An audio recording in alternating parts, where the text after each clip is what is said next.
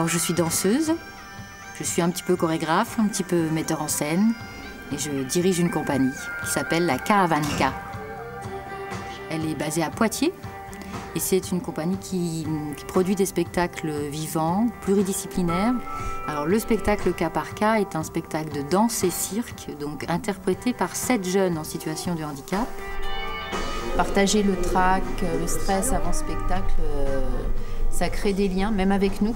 Ça change vraiment euh, la relation éducative qu'on peut avoir avec eux. On est témoin de leur trac, on est témoin de leur appréhension. On ne travaille qu'avec la motivation des jeunes. il n'est pas, pas, question d'obliger euh, les jeunes euh, à monter sur scène et à faire un spectacle. Voilà, derrière, c'est de l'entraînement, c'est des efforts. C'est là où ça devient très intéressant. Ils découvrent que ben, quand on veut être performant, quand on veut avoir le plaisir de monter sur scène, de montrer ce que l'on sait faire, ça implique du temps, de l'énergie, du travail et que ça tombe pas tout cuit.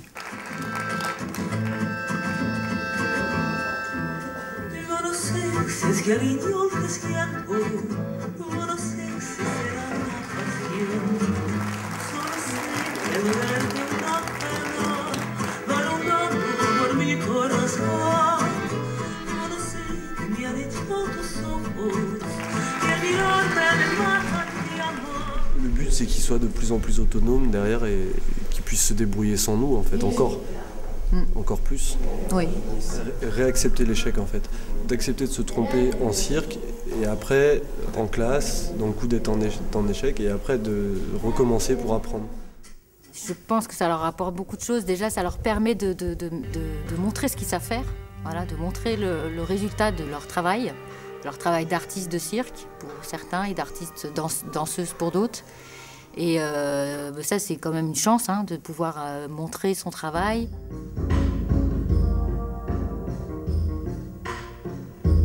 Très bien danser, très mauvais. Très content de danser. Très fier. Il y a un un gros effet de valorisation. Voilà. Plus convivial, ouais. Mais c'est vrai que c'est euh, des échanges qu'on ne peut pas avoir euh, au quotidien dans les activités qu'on met en place à l'IME. Et euh, ça crée une relation particulière. Ouais. Bah, ils arrivent à faire passer quelque chose qui est assez fort, donc ouais, c'est intéressant, c'est assez impressionnant. Ah oui, un peps, un dynamisme formidable. Très bien, il y avait beaucoup de poésie. Mais ça ne dure pas assez longtemps. En tout cas, ça leur a permis de s'épanouir, de grandir, de se renarcissiser, de prendre confiance en eux, et ça, ça leur sera fort utile dans leur vie d'adulte par la suite.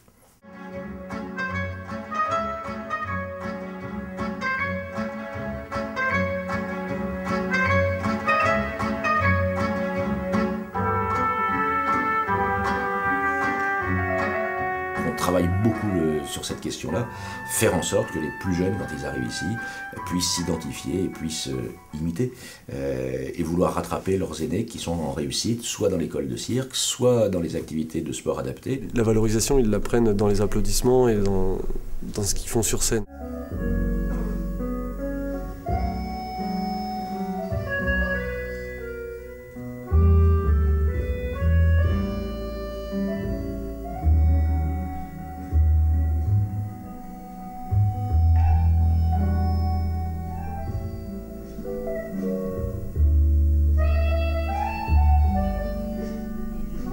Bien sûr que, d'autres jeunes dans des établissements spécialisés partout en France ont un talent fou à développer. Et c'est juste qu'il faut, mettre le doigt dessus et puis, et puis trouver les moyens de le faire éclore. Quoi.